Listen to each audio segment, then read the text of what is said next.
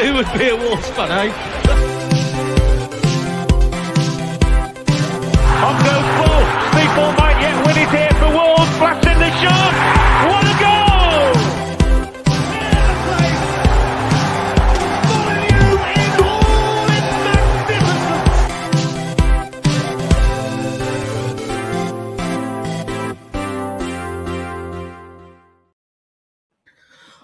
Everyone. Welcome to the latest Wolves Fancast preview episode. It's your host, Little Dan, and with me tonight, I've got with me Liverpool supporter, singer songwriter, all round good lad, Jamie Webster. How's it going, Jamie? What's happening, Dan? I'm all good, mate. Nice one for having me on, fella. No, great, great to have you on. Obviously, in the middle of your your latest tour at the moment, playing Dirty Leeds this evening. How's the tour gone so far? Yeah, it's been great, mate. Uh, started off in Glasgow. Uh, they were around the bend. Uh, moved down to As they Newcastle do, last as they do.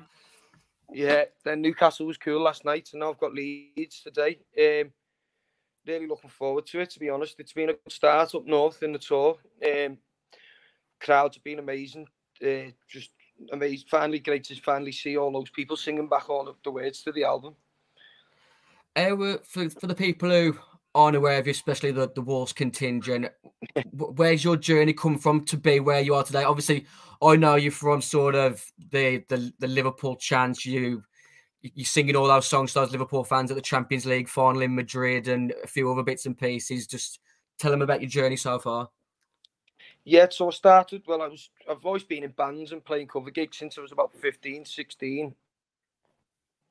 And um, yeah, just, it developed into doing this now. It just developed into, you know, Liverpool Football Club getting hold of me, asking me to do a few of their events around some of the big games and then taking me out on tour um, to America and stuff like that. And it got, it got a name for myself. And all the while I've been writing and releasing my own music. So, um, it was just a case of getting it, you know, getting it done really. Um, get get getting it released now that I had the platform, and thankfully it took me to selling out venues with thousands of people up and down the country. So I'm just Do you wanna yeah, tell yeah, just, Do you want to tell people Yeah, about obviously, obviously you, you um your YouTube channel released North End Kid, the official video yesterday. Do you want to give people a bit of a rundown on that? yeah. My latest single, North End Kid. It's uh, it's about not not giving up on your dreams and and not being, you know, defined by your environment and your the people around you. You know, do what you want and make your own way and walk your own path and don't end up like the North End kids. That's the sort of message of the song. And um, yeah, I'm just really, really happy with how it's gone down. Everyone seems to take to it really well. Sang it in Newcastle last night, and you know the crowds were singing everywhere back to me. It's only been out less than a week, so that was well a week today actually. So that was a pretty nice coincidence. Do you know what I mean? Fantastic. I listened then, to it uh, in the car earlier. It's right, right up my street. Um, I don't want to sort of pigeonhole you, but sort of a Scouse Gerry Cinnamon for me. I don't know whether that's a, a compliment or not to yourself, but Hmm. acoustic, got a strong voice, nice melody. Yeah, I mean, I don't, I don't mind about it, but you'll have to ask Gerry how he feels about that uh, comparison. To be honest, I don't think he'd be too happy with it, but um, because I don't think he's my biggest fan, Dan. But um, Oh, is he not? I'll I'll have to um, I'll have to put a charity boxing match on then. Yeah, well, I'll fucking batter him to be fair.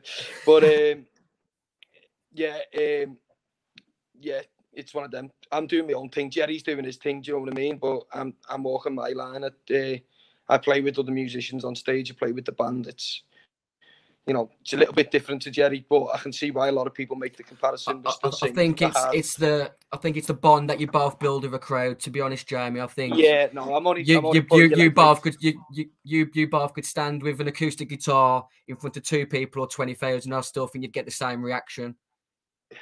Thanks very much, mate. But yeah, like I say, I was a big fan of Gerry's music um, until I found out he wasn't a fan of mine.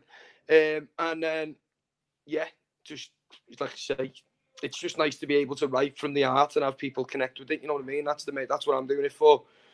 I'm writing my story, writing my views on the world and what I see and things that have happened to me and people around me. And I'm just really lucky that so many people across the country seem to relate to to what I'm saying and want to come down and see me and be part of the movement. You know what I mean? I'm just really Yeah. grateful to all those people. Really enjoying it. Obviously, your album's out in uh, January, uh, titled Moments.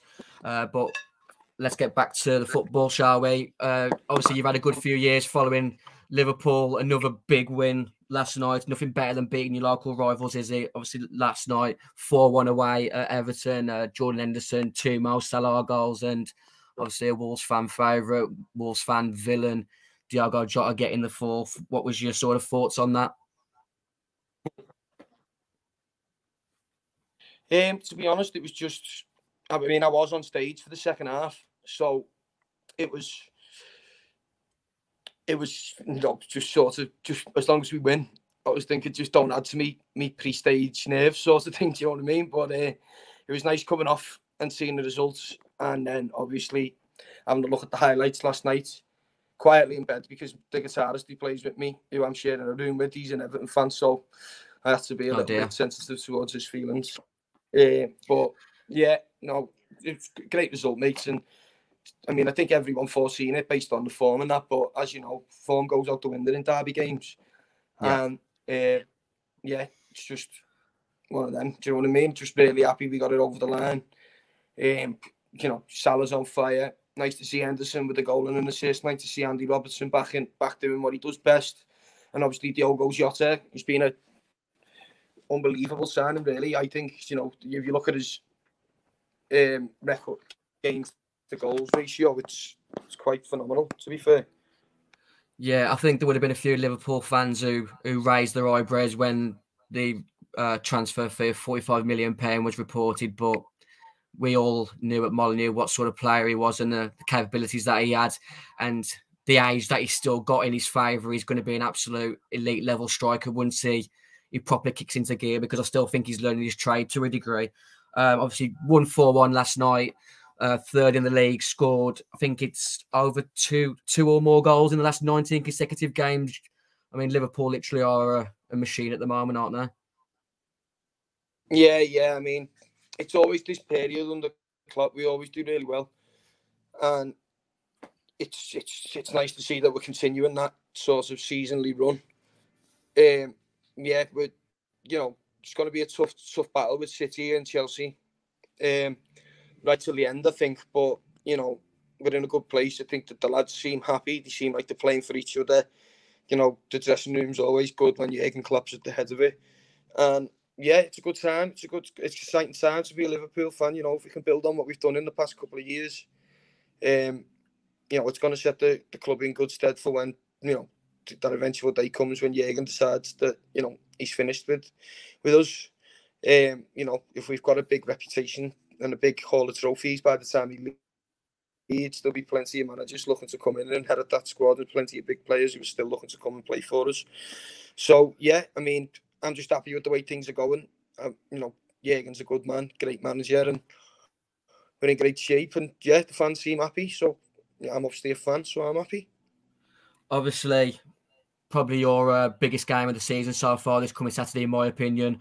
Away at Wolves, uh, big game for obviously both sides. Um, Liverpool have got an absolutely ridiculous record, not just against Wolves, but against most teams. But Wolves have only beat Liverpool once in the Premier League, which I think was going back to something like 2010 or 2011, which got Roy Hodgson the sack. Yeah, I was. And we've absolutely been, yeah, been pretty much battered since then. Um, what's your sort of thoughts on that game? S- Stephen Ward, yeah. Um, obviously yeah, underneath yeah. the legs of uh, Pepe Reina. Liverpool were sort of in that transition of not really spending much money at the time, weren't they? And obviously you had players like Paul Konchesky and stuff, which not only not Paul Konchesky, but not Liverpool caliber player, is there? Um, what's your sort of thoughts no, going into the game on Saturday? You, do you think d- difficult game or comfortable for Liverpool? you know, despite the despite the uh, the, the record stating there, every time I've gone to Wolves, it's been quite a tough game.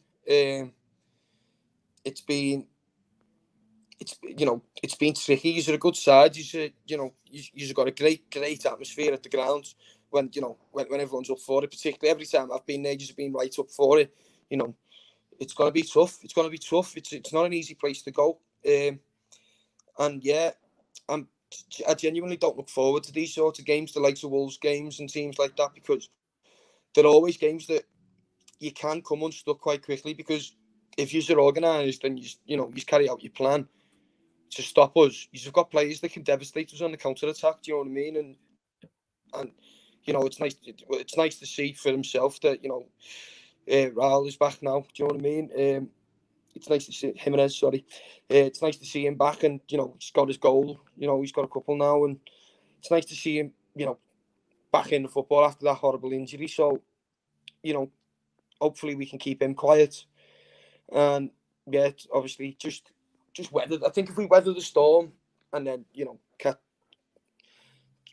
try and get a couple of early goals, I think we'll be okay. But I think the longer the game goes on, where we don't score, I yeah, think that's the crowd start. The crowd's belief starts to to grow. To, yeah, the, the crowd's belief is going to be um, a massive thing come Saturday. Obviously, last time out, uh, Liverpool got the win one 0 thanks to uh, Diogo Jota goal just before half time, but Wolves were unfortunate in the opening minutes not to get a penalty after Alisson had a bit of a clumsy uh, collision with Nelson Semedo.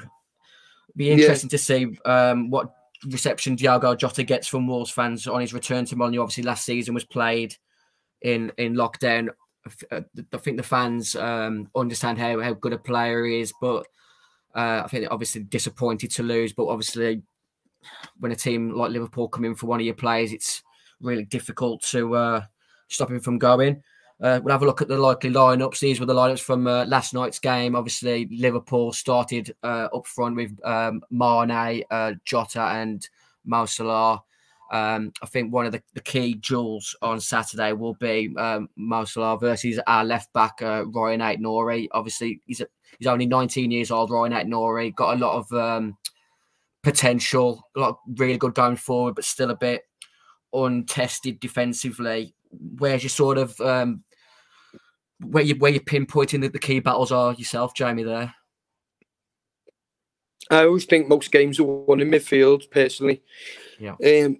So, I think you know, if Thiago's on form and he gets and he can find the space, I think that that's going to be the key into him bringing the front three into the game. You know what I mean? And obviously, the fullbacks you know, it's not only Salah that you've got to worry about coming coming up the, the right hand side. You've also got Trent Alexander Arnold and Jordan Henderson yeah. in a sort of three pronged attack, and that's.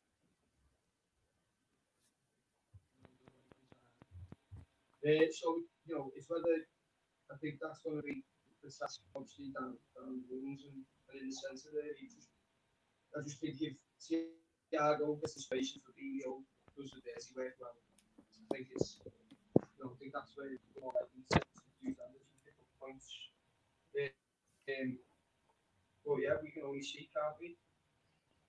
Yeah, I think your volume um, or audio's gone a bit um, fuzzy there, Jamie. I'll just I'll just go. I'll try and wing it while we try and get you back. Um, Wolves uh, were without Ruben Neves in last night's nil-nil draw. Um, hopefully, he'll be back last night. Uh, let us know in the sort of comments whether you think um, Neves comes straight back in, uh, and whether Adama plays uh, again. Obviously, Adama had a big chance in in the first half, but his decision making at times last night was probably the reason why Barcelona let him go, and he's um he's still at Wolves. Uh, getting Ruben Neves back should be key to Wolves having any chance of getting a good result uh, in this game. Um, anyone that you think could be rested from Liverpool, Jamie? No, because he's having uh, internet connections up in Yorkshire this evening.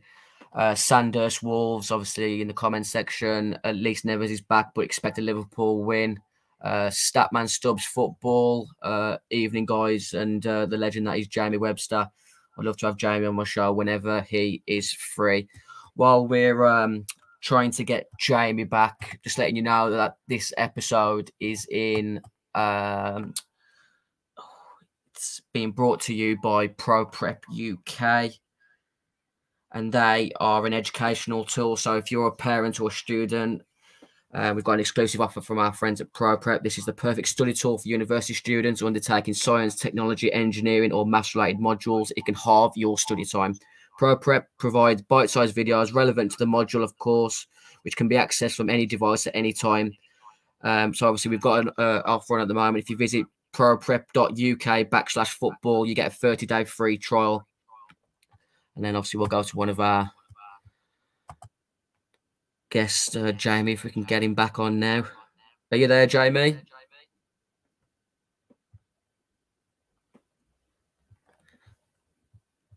I think your microphone is on, is is muted, Jamie.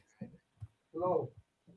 Yeah, I can hear you, but it's uh, very echoey. Yeah, I'm not sure what happened from the first time you were on. It's like you're you're, you're very distant now, like Wolves are to Liverpool in the league. About ten points, I think it is.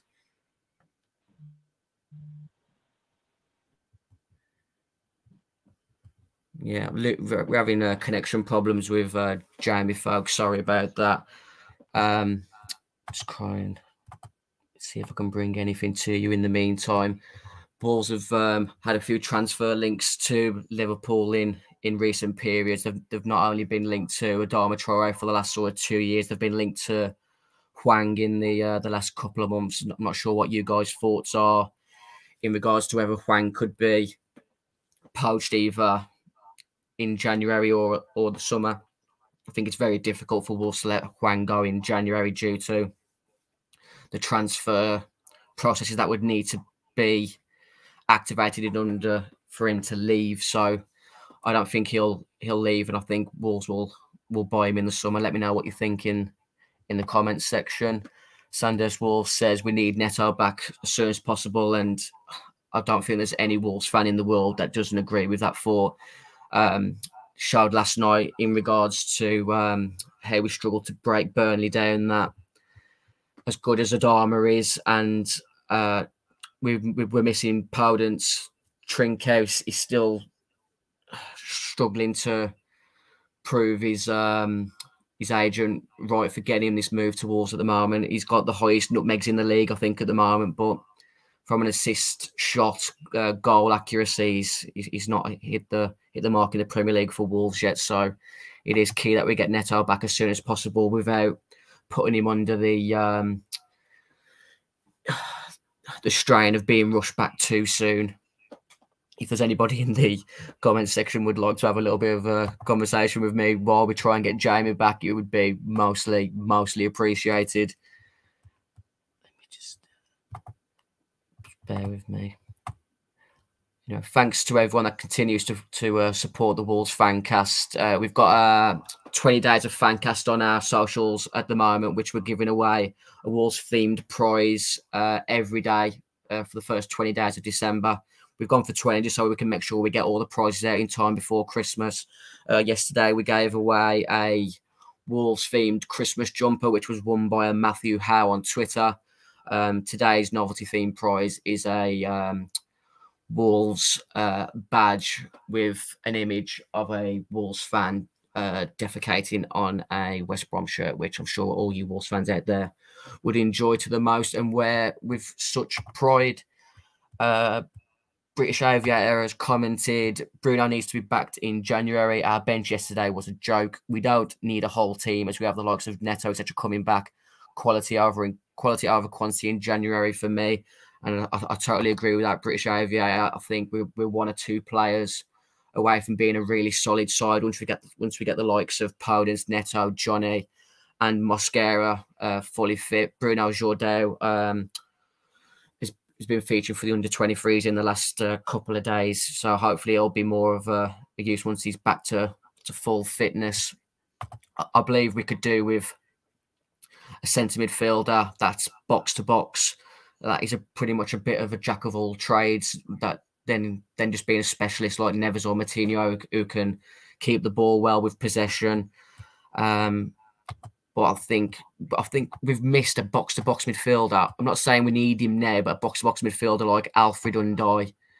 Um, we've we've we've just missed that physicality in midfield since returning to the Premier League and a midfielder who can drive into the box um, late and get on the end of crosses. We'll go to a quick commercial break, and hopefully we'll get Jamie back on. Hi everyone, Matt from Wolves Fancast here. If you're anything like me, time is of the essence these days. How am I meant to take training with my Wonder Kids on the managerial football simulation game that I'm not allowed to mention for legal reasons if I'm too busy worrying about my online media presence? Well, that's where our friends at pixelyetimedia.com come in. They're not just web designers, they're a creative agency that cover all of your design needs from websites, brochures and signage to marketing, logo design and branding.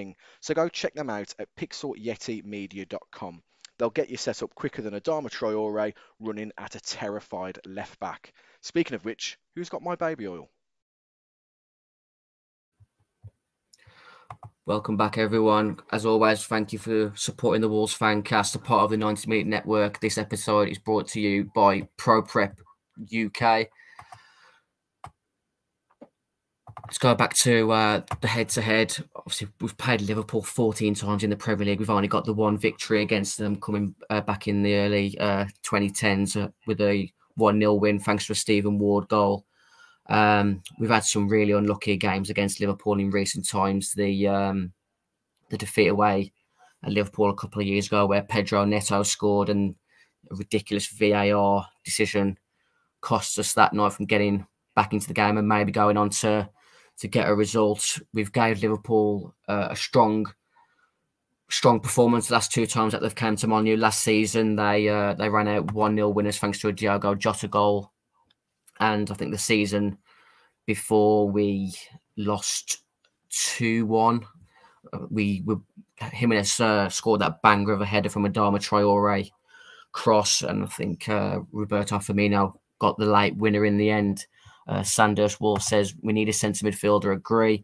Renato Sanchez would be the one.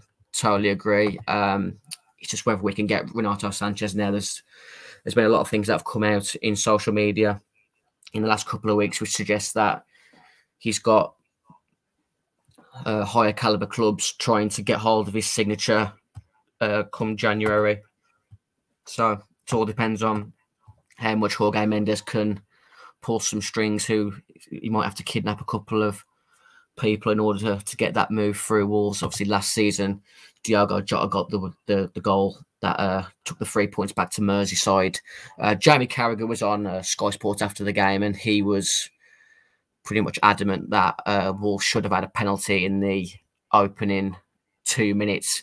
Uh, the ball came in from, I think it was Adama, and Alisson collects the ball, drops it, and then just completely just runs and clatters into Semedo. And I think what what was the most ridiculous thing that that was VAR looked into it and didn't believe it was a penalty. And I think if you if you go back out there tonight, guys, and uh, view that that incident, it's absolutely ridiculous that it didn't get given. And it, obviously, Liverpool may may still have gone on to win that game comfortably, but Wolves winning 1 0 or any team in the Premier League winning 1 0 at home, I've got something to fight for. That We could have actually gone on to get a result. Who knows? Um, yeah, Sanders Wolves that that two one at home defeat was painful. I remember the atmosphere that night being really, really classic, uh, classic Molineux, good atmosphere. Um, it's just a shame that we couldn't get the get a result on the night. If you have a look at the likely lineups again, um, I, I, still think um, Mo Salah coming up against Ryan Aït-Nouri will be massive because I think if Ryan Aït-Nouri gets caught out in in Liverpool's final third, and uh, Romain Saiss is exposed next to Salah and Trent Alexander. It's, it's going to be difficult to keep them out. Obviously, I mentioned earlier they've scored uh, two or more goals in their last uh, 19 consecutive games, so they're an unbelievable side at the moment. But if you look at the uh, the the league table from last night, they're third in the league, Liverpool behind Man City and Chelsea, which We've also got coming up uh, soon, so it's going to be a difficult month for for Wolves, which was quite disappointing. Looking back on last night's nil nil at home to Burnley, because it would have given us a bit more of a a cushion. Obviously, the, the two point. If we would have got a win last night, I think we might have uh, snuck above Arsenal on gold. If I'm not 100 percent sure, that you have to uh, let me know, guys. Right, let's have a look at the um,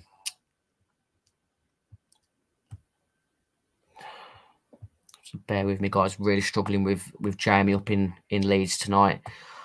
if anyone is in the comment section, I had a quiz uh, prepared for Jamie. If anyone can tell me the answers to the, the questions that are about to come up, if you uh, give us a nod on uh, our Twitter page in the DMs later on, we'll try and give you a, a prize. So the first one is name the footballer and name the fighter. So it's a footballer for Wolves and a UFC fighter. It's quite an easy one. This is Wolves player and a UFC fighter. Anyone in the comment section? Anyone at all? I might have to get try and get Barry Douglas on because it's it's going along them lines again. Are you there, Barry? You can't fool me tonight. I'm trying to make it work. Anyone in the comment section? The correct answer is Conor Coady and Conor McGregor, as guessed right by British Aviator. As I said, it was an easy one, that one. Uh, fingers on your keypads, ready for the next one. It is name the character and name the footballer. It's a Liverpool theme show, so think carefully about who the footballer is and who the uh, movie character is. Quite a difficult one if you if you're a young Wolves fan. Midfield that used to play for Wolves and a movie character. Anyone in the comment section get it before I move on to the next one? I'm expecting British Aviator to come in with a correct answer again, or Sandhurst Wolves. British Aviator has got the movie character, which is Harry Potter. So if there's any Wolves fans in the comments section that know a Wolves player with the surname Potter, the correct answer was Darren Potter and Harry Potter. Quite a difficult one if you're a relatively young Wolves fan, or just don't remember Darren Potter because he was a bit of a bit part player. I think he was actually captain under Mick McCarthy in his first season at Wolves. And the last one, which was purely for uh, Jamie, which is a pretty much a, it's a difficult one unless you're a Liverpool fan or a big music music, music fan. It's name the singer and name the Liverpool player. It's a bit of a difficult one. This one. Lead singer of a 90s indie band and a Liverpool player, which have got sort of similar names to the singer and the footballer. That's a good shot by me. I'm taking that. It is the lead singer of the La's uh, Edward Atkins in the in the comments. Uh, hopefully, there's someone else who knows who the other player is. The the actual musician is uh, Lee Mavers from the La's. If you if you're aware of the La's classic '90s indie band uh, songs like "There She Goes" and "Son of a Gun," which is a, a favorite of mine. The correct answer was um, Ed Mavers, sorry, Lee Mavers from the La's and Adam Lallana. Obviously, uh, Jamie was our guest on the show tonight, and he's uh, currently on tour. He's playing Birmingham Academy 2 on Saturday, which suggests that he may he may be in Wolverhampton for the Liverpool game on Saturday if he, if he has time, and then over to Birmingham in the evening. That gig is sold out, but he's on tour for the rest of December and January and his album uh, Moments is out in uh, January, which is the 28th of January. And his latest single, North End Kid, is out on his YouTube channel at the moment. Let's play it out.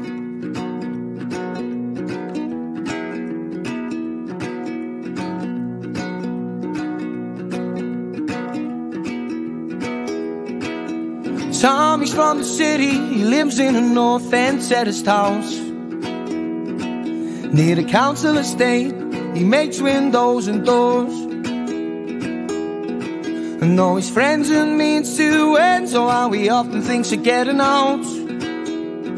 Like his mother did near 18 years before.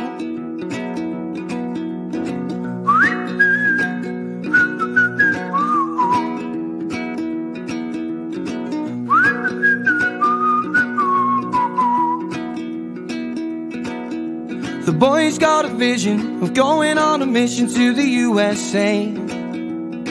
He wants to sing and dance and act on those Broadway shows.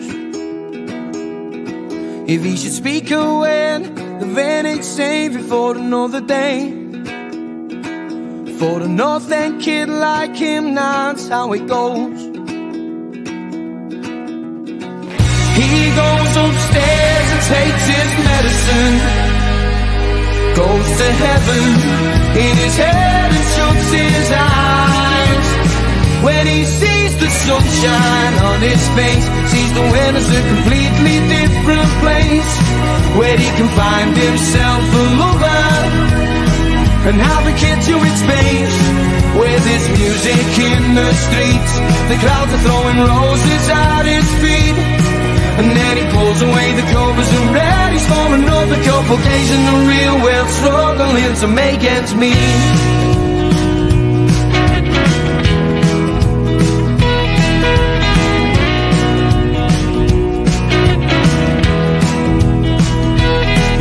Tommy's dad's a marine, so to dead as it seems rather hard sometimes. And the anger builds from those lethal blows he took. If he's to go out at night, he'll get caught in a fight in a bar sometimes. Another North End kid, another shit out of luck. Then he goes home and takes that medicine goes to heaven in his head and shuts his eyes. When he sees the sunshine on his face, sees the world as a completely different place. Where he can find himself a lover and have a kid to its face. Where there's music in the streets, the crowds are throwing roses at his feet. And then he pulls away the covers and readies for another couple days in the real world, struggling to make ends meet.